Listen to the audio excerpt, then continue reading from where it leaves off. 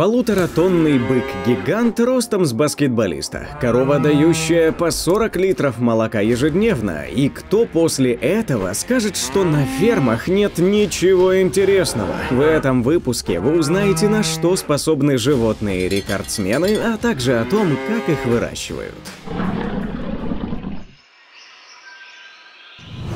Никерс Ферма – это то место, которое не испытывает снисхождения к тем или иным животным. По крайней мере, так думает большинство. Однако в истории есть случаи, когда опровергают эту теорию. Чего далеко ходить, возьмем Никерса. Так зовут уже ставшего легендарным быка, который выделяется на общем фоне своими габаритами. Он настолько большой, что в высоту будет крупнее даже знаменитых баскетболистов. В холке он стремится к двум метром, а весит под полторы тонны. Обычно столь больших созданий сразу же отправляют на бойню, но Никерс стал исключением из правил. Хозяин посчитал, что пускать его на мясо было бы кощунством. Природа одарила бычка невероятной особенностью, крупными габаритами и уникальным окрасом. Так давайте наслаждаться этим, пока у нас есть возможность. Хозяин не стал продавать Никерса, хоть ему и предлагали много денег, а также также не захотел расправляться с ним лично. Ходили слухи, что бык так сильно вырос, что никакие технологии уже не могли с ним нормально справиться. Был риск поломки, поэтому громилу и оставили. Но я все же верю в благородство человека. Время на ферме шло, а Никерс все крепчал. Он был кем-то вроде вожатого для остальных коров. Дамы очень любили его, вечно следовали по пятам, а он успешно слушался хозяина и тем самым самым помогал ему вдвойне. Нельзя не отметить и такой плюс, как габариты Никерса.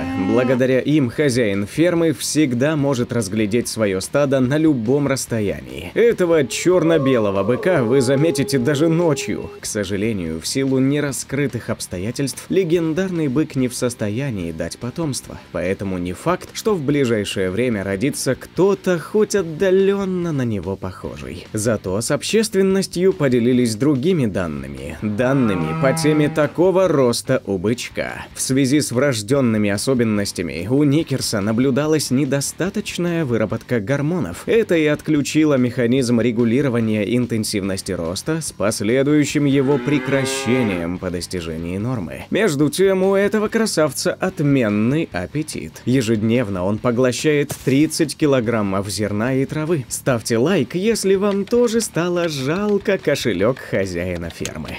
Блоссом но не только быки могут вырастать до удивительных размеров. Коровы тоже не остаются в стороне, и на арену выходит красавица Блоссом. 190 сантиметров от земли до загривка поразят каждого. Эта зверюга галштинской породы жила в американском штате Иллинойс и была знаменита тем, что в день давала 40 литров молока. Чтобы вы понимали, показатели обычных коров в лучшее время меньше в целых два раза. Ученые с разных концов Земли тут же заинтересовались этой особью и захотели исследовать ее, узнать, как можно добиться чего-то подобного, ведь, по их мнению, это именно то, к чему и должно стремиться сельское хозяйство. Получилось ли у них что-либо о ней узнать, непонятно, ведь корова ушла на тот свет в 2015 году. За свою жизнь она успела стать одной из самых высоких коров в мире, влетев даже в книгу рекордов Гиннесса. На тот момент ее высота составляла 193 сантиметра.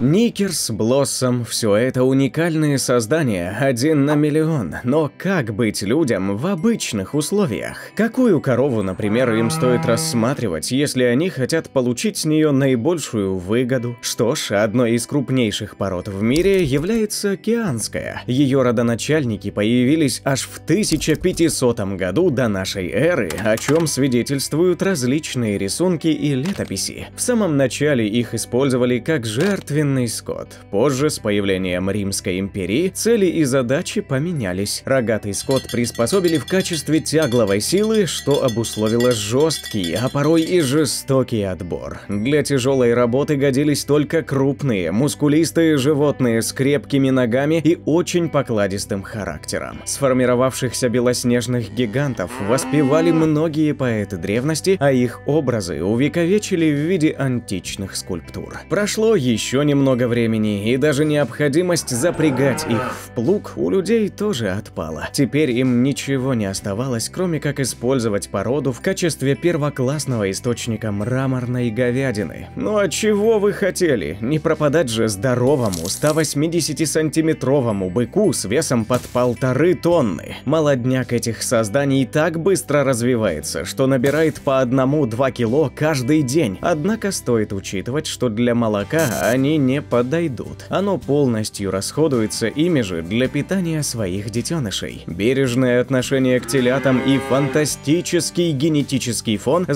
заставляют многих фермеров буквально охотиться за коровами этой породы. Не зря она считается национальной гордостью целой Италии. И раз уж я заговорил о фермах, о том, кого они ищут и кого выбирают, давайте узнаем, как именно выглядит процесс разведения животных. Оставайтесь, будет интересно. Помещение. Любой бизнес, будь то кофейня или бухгалтерия, стоит начинать с выбора помещения. Ферма не исключение. Даже наоборот, она, как никто другой, нуждается в подходящем месте. Для ее организации необходимо как минимум одна тысяча квадратных метров. По стандарту на одну корову должно приходиться 20 квадратов, а на теленка 10. Этого хватит для размещения склада, летнего загона, коровника, инвентаря и базы для кормов домов. Сами фермы строятся из разных материалов. Обычно это кирпич, ракушечник или саман. Полы на фермах почти всегда деревянные, так проще и в то же время теплее. Оборудование. Как только территория возведена, приходит время установки оборудования. Каким бы умелым и сильным ни был человек, в одиночку он вряд ли сможет обслуживать целую крупную ферму. Поэтому, если речь идет про молочку из 50 голов, без автоматов не обойтись. Это повысит стартовые расходы, но в итоге позволит оптимизировать основные рабочие процессы и сэкономить на оплате труда многочисленного штата сотрудников. Первое, что стоит закупить, это стойло из цинковых труб. Затем приобретаются весы, доильный агрегат и молокопровод, резервуар для нашего будущего клада, а также все необходимое для кормления коровок. То есть соски, кормушки, лотки, ведра и подогреватели. И если по предварительным расчетам вы подумаете, что уже заплатили много, этот бизнес не для вас. Ведь все основные деньги уйдут именно на закупку скота. Молодняк стоит примерно 200 265 долларов за особь. Молочная дойная корова от 850 долларов. То есть стартовый капитал на стадо из 50 голов составляет примерно 40 тысяч долларов. Важно понимать, что покупая большую часть молодняка, вы сэкономите деньги, но сроки реализации существенно расширятся. Питание. Корма для коров будет нужно много. Даже если они не рекордсмены и не представители выдающихся пород, в среднем на одну особь вы будете тратить порядка 16 килограммов корма в сутки. Содержание быков. С бычками дела обстоят чуточку иначе. В их случае особую роль играет качество и принцип их содержания. В теплый период года им нужен ежедневный выгул. Постоянно держать в стойле таких особей не рекомендуется, хотя так вес они набирают очень быстро. Заточение делает их агрессивными и способствует различным заболеваниям. Также важно держать их дом в полной чистоте, ведь лишь в этом случае мясо будет получаться самым нежным, вкусным и качественным. Если все-таки выбирается способ содержания быков на привязи, то нужно позаботиться о качественном оборудовании, так как они могут проявлять агрессию. В стойле особи должны быть хорошо закреплены. Плюсы этого метода – у фермера появится возможность оценивать состояние животного, делать различные замеры, и ветеринарные осмотры. Но опять-таки, как бы вы ни выбирали ухаживать за созданиями, критически важно подобрать верные породы на свою ферму. Герефордская, например, распространена по всему миру. Ее явным плюсом является быстрая акклиматизация и адаптация к новым условиям. Эти коровы хорошо растут, а также известны славными показателями репродуктивности. Абердин-ангусская – еще одна порода, которая пользуется спросом. Она отлично акклиматизируется в различных географических зонах, отличается компактным телосложением и скороспелостью. Шаролесская же требует немного больше времени на полное созревание, порядка двух лет, однако за более длительный срок она обрастает и более сильным телом ярко выраженного мясного типа. Лимузинские особи выделяются выносливостью,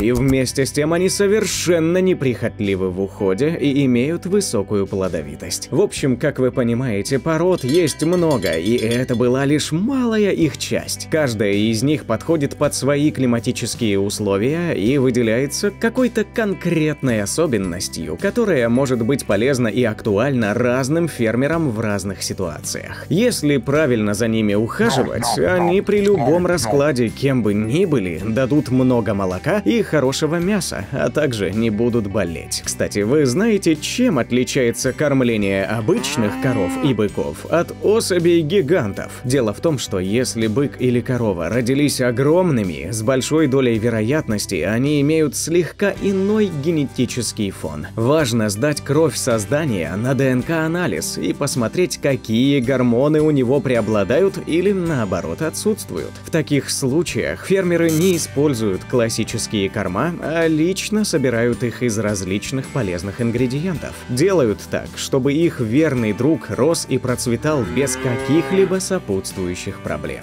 А сейчас я покажу вам самые редкие породы кошек, которые вас точно удивят. Сококе Начнем с кошки, встретить которую большая удача. Как-никак, многие эксперты называют именно сококе самой редкой породой кошек на свете. Они также известны как сокоук и ханзонзо. У кошки сразу две родины – Кения и Дания. Все потому, что появилась порода в Африке. Она возникла в Кении на основе местных африканских кошек. В Данию эти коты попали в 1984 году, после чего в стране начали их разводить. Всего через Через несколько лет породу признала Международная Федерация Кошек. Сококе обладают яркими внешними данными. В первую очередь, это гибкое и стройное тело, а также длинные лапы. Что касается лап, то задние у Сококе длиннее передних, отчего кажется, что эти коты ходят как-то необычно и странно. Сококе – красивые и интересные кошки, но у них есть один недостаток. Слабая нервная система. Сококе склонны к нервным расстройствам. Эти заболевания передаются по наследству. На свете есть немало пород кошек, которые посоперничали бы с Сококе за звание самой редкой, но дракон Ли – отличный кандидат. Пока одни считают Сококе редчайшими котами в мире, другие указывают именно на этих китайских кошек. Собственно, из-за Китая эти пушистики и получили свое драконье название. Есть у них и другое имя – Ли Хуа и Ли Мао. Помимо того, что дракон Ли крайне редкая порода, она еще и достаточно новая. В качестве породы эти коты дебютировали в 2004 году. Хотя редкость редкости рознь. Например, в родном Китае драконы Ли считаются достаточно распространенными животными. Но за пределами Поднебесной они действительно встречаются очень нечасто. В одних только штатах насчитывается лишь 4 породистых дракона Ли. Это о многом говорит. Многие даже считают, что за пределами Китая невозможно приобрести породистого дракона Ли, и в это охотно верится. Что удивительно, при всей своей исключительности, внешне дракон Ли выглядит чуть ли не как обычная дворняга. Этого нельзя сказать о следующей удивительной кошке из этой подборки – Кхаомани из Таиланда. Одного взгляда достаточно, чтобы понять, эта порода по-настоящему уникальная. Это не фотошоп, у этих кошек действительно разные глаза. Все потому, что у них гетерохромия, особенность, при которой радужная оболочка правого и левого глаза имеет различный цвет. Эта особенность, кстати, встречается и у людей. Однако не у всех хаомани есть гетерохромия. Просто у этой породы такая особенность встречается чаще, чем у других котов, из-за чего в интернете обычно можно увидеть фотографии именно таких разноглазых пушистиков. Хаомани – игривые и любопытные питомцы. К хозяину они привязываются очень сильно и не переносят долгой разлуки с ним. Они очень часто любят мурлыкать и общаться со своим хозяином. Знаю, многие из вас уже захотели завести себе такого красивого и разговорчивого кота, но сделать это будет крайне трудно. Чистокровного представителя породы можно приобрести только в Таиланде и в редких случаях в Европе. Лаперм Коты бывают разные. Бывают очень пушистые, бывают гладкие, короткошерстые или вообще лысые. А бывают и такие, кудрявые. Кучерявая шубка – главная отличительная черта лапермов, американской породы кошек. Что удивительно, при всей своей кучерявости они почти не линяют. Лапермов отличает не только необычная шерсть, но и невероятный характер. Это идеальная кошка. Лаперм обнимет, поцелует и потрется о каждого встречного человека. Он считает это своим долгом. Если вы уделите Лаперму хоть немного внимания, он будет считать вас лучшим другом. Эти ребята абсолютно неконфликтные и любят всех – взрослых, детей, других котов и даже собак. Добрый кот Леопольд наверняка был Лапермом. Жаль только, что эти добряки редкие. Отыскать и завести настоящего породистого лаперма – задача не из простых. Ребята, давайте жить дружно. Ликой. Я тут только что упомянул Леопольда, и Ликой – это хороший пример действия зверина в реальном мире. Ну а если без шуток, то Ликой – достаточно странная порода кошек. Их еще называют котами-оборотнями. Кажется, что у Ликоя какое-то кожаное заболевание, но на самом деле это природная мутация, закрепленная селекцией. Из-за этого кот выглядит странно, облезло, неряшливо и даже немного жутко. Но на самом деле эти эти коты страшненькие только снаружи. Сами они ласковые, добрые и дружелюбные. Эти питомцы ориентированы на людей, поэтому легко найдут общий язык с любым хозяином. Турецкий ван. Если вам больше по душе большие и пушистые коты, нежели оборотни в обличии кошки, то вам может подойти турецкий ван. Но не забывайте, эти коты тоже редкие, поэтому придется потрудиться, чтобы цепануть породистого пушистика. Турецкие ваны мускулистые, элегантные и большие. Представители этой породы пропорционально сложенные и производят впечатление сильных животных. Интересен окрас этих животных. Это тот случай, когда в одной кошке могут быть все все типичные кошачьи цвета – рыжий, белый и черный. К слову, разнообразие цветов прослеживается и в глазах. Как и тайские кхаомани, турецкие ваны часто подвержены гетерохромии, поэтому встретить этого пушистого турка с разноцветными глазами – обычное дело. Еще одна интересная черта этой кошки – любовь к воде. В отличие от многих других домашних хищников, которые не переносят воду, турецкие ваны не просто нормально к ней относятся, но и буквально наслаждаются плаванием. Гавана Гаванна или Гавана Браун – это по-настоящему редкая кошка. Порода была выведена в Англии в середине прошлого века путем скрещивания между сиамскими и черными британскими кошками. Спустя всего несколько десятилетий популяция стремительно сократилась. До конца 90-х годов число питомников, разводящих эту породу, не превышало 12, а число кошек и котов породы Гаванна в мире не превышало 130. Эта кошка явно могла бы возглавить список список исчезающих кошачьих пород. К счастью, в последнее время популярность породы растет, да и сама Гаванна уже не находится в столь критическом положении, однако она все еще остается одной из самых редких пород в мире. Кошка может стать уникальной не только из-за малочисленности или исключительности своей породы. Необычной может стать и какая-то конкретная особь. Например, мейн-кун с человеческим лицом, двуликая кошка или коты, у которых подписчиков в соцсети больше, чем у многих топовых блогеров. Давайте взглянем и на них. Валькирия К сожалению или к счастью, эксперименты по скрещиванию животных и людей запрещены. Но если бы существовал гибрид кошки и человека, то он выглядел бы примерно как Валькирия. Этот Мейн-кун стал звездой интернета благодаря своей уникальной внешности. Еще бы, ведь лицо у кота и впрямь человеческое. Еще больше необычную внешность Мейн-куна подчеркивает впечатляющий окрас черный дым. Удивительно, что при этом у братьев и сестер Валькирии Валькирии внешность обычная, поэтому объяснить странный человеческий внешний вид Пушистика не в силах даже опытные ученые. Безусловно, Валькирия выглядит очень необычно, но, как по мне, еще необычнее выглядит Венера.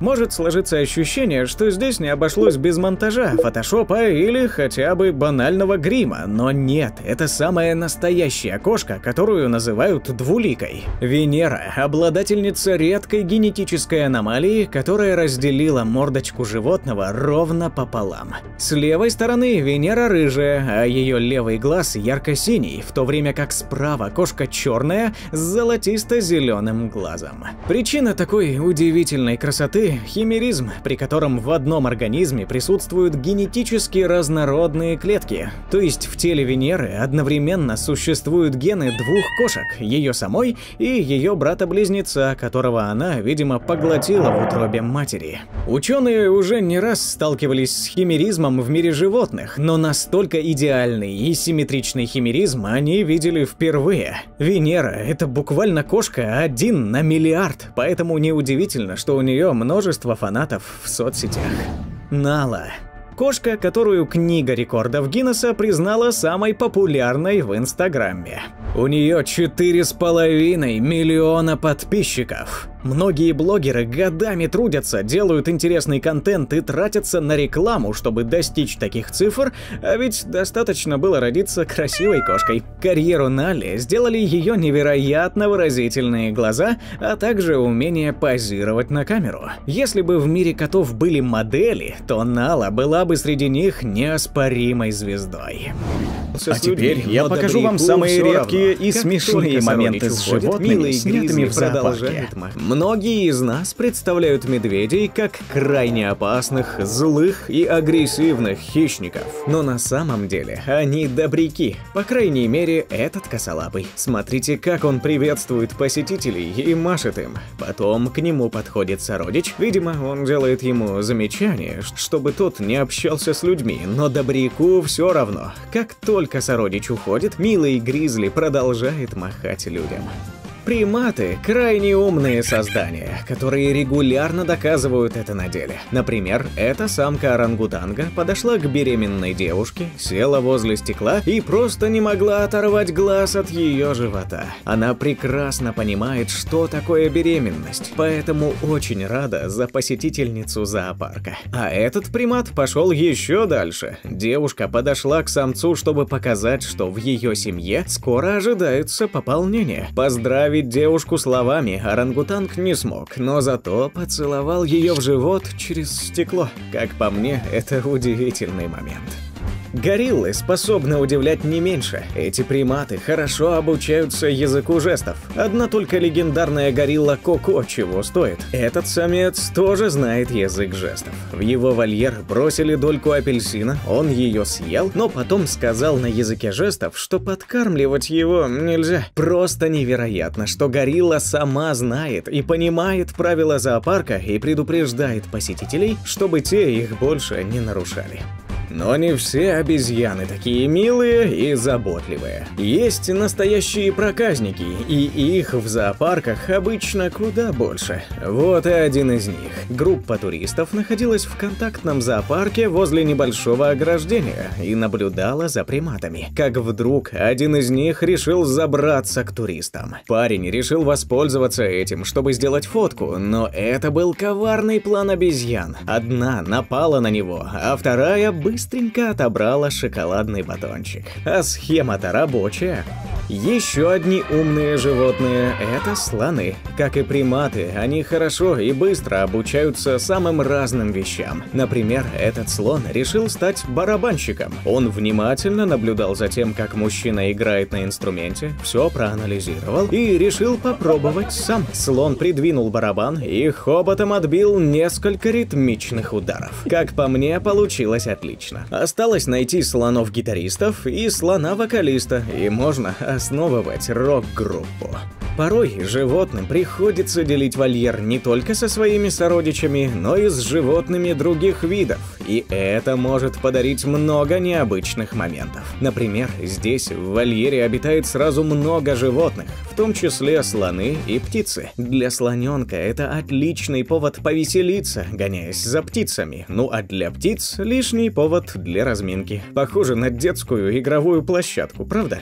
А в этом случае игры уже не детские. Вольер делят медведи и волки. Эти животные и в дикой природе иногда гоняются друг за другом. Поэтому было неизбежно, что такое произойдет и в неволе. Правда, здесь они не преследуют цели прикончить и съесть друг друга. Догонялки у них дружные и веселые. Хорошо, что вольер у них очень просторный, поэтому места для игр хватает всем.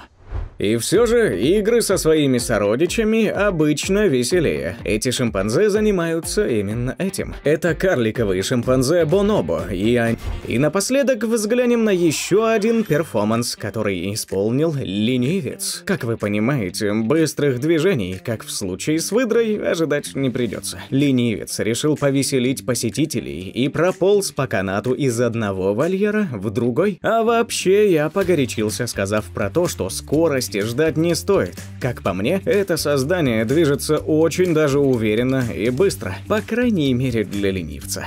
На этом все. Напишите в комментариях, какой случай удивил вас больше всего. А если было интересно, то подписывайтесь на канал и ставьте лайк. Спасибо за просмотр.